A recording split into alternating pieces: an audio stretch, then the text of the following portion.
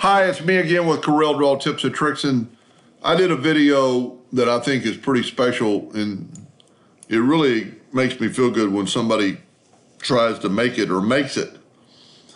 But the gentleman is having trouble.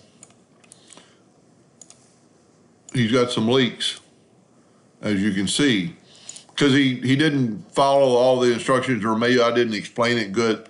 And where you're getting your leaks from is he said he used the virtual segment delete key. There's some, that's a leak that uh, won't fly. You've actually got two lines there. I mean, these lines are not connected. And that's one thing, and see, there's a double line. That's one reason I kind of made this video because it's really pretty cool. So let's just start again from scratch. I'm just going to start in the center of the page. I'm actually going to use his word Emily, put it in the center of the page, go and immediately go ahead and take the fill out and make it a hairline and go ahead and it really doesn't matter, but and convert it to a curve. If you kind of get used to doing that with text, when you do anything like with a well, I'm really excited. He used my same font I suggested and used snowflakes off Wingding. But let's go to effects and contour. Let's contour to the outside in black so we can see the difference.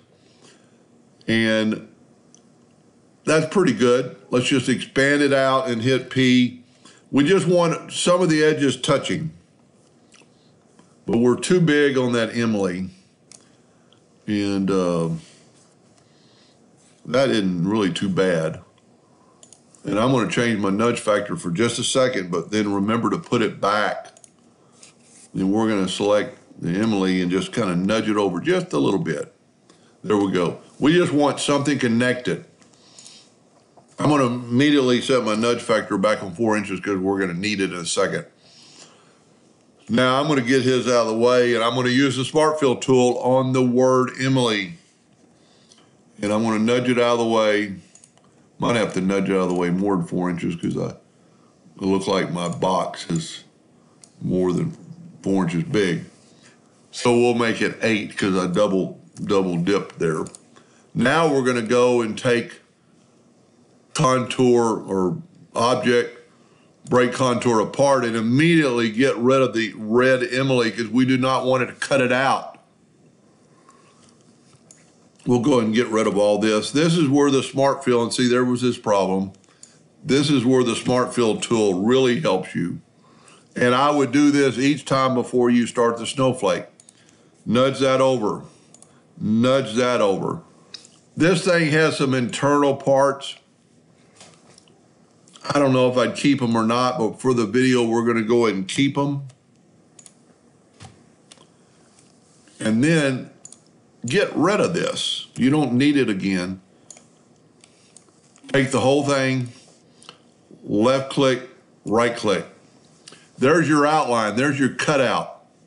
Now, because we nudged it correctly, there's our Emily back, but we're going to keep it out. And I'm also happy that he he made some extra copies of snowflakes. I'm only going to add two for this video because it ought to be pretty simple and get you different size.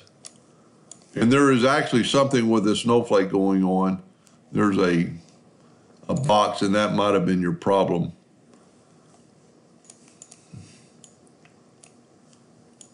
See, I saw something, but it, regardless, and well, that's what it was. It wasn't a text yet. It was still a text, and that's your bounding, that's your shaping toolbox.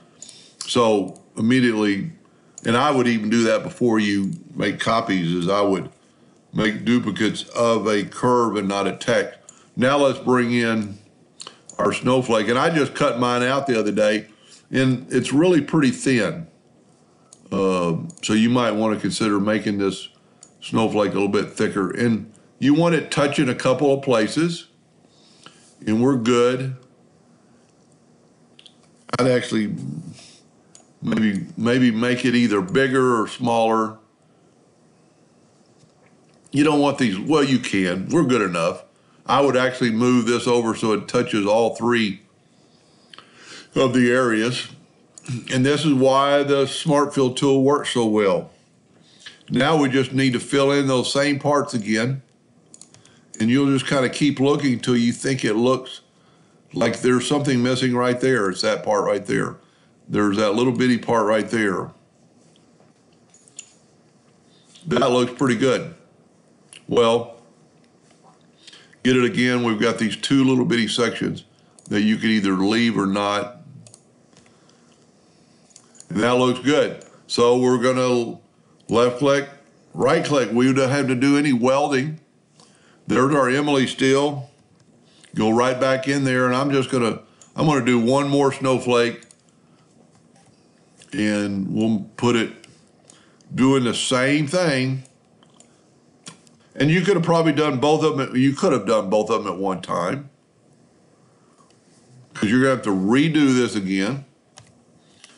But it saves you a lot of time, and evidently the virtual segment delete key didn't work for him. Whoop, I went outside the box. And um, he had some problems.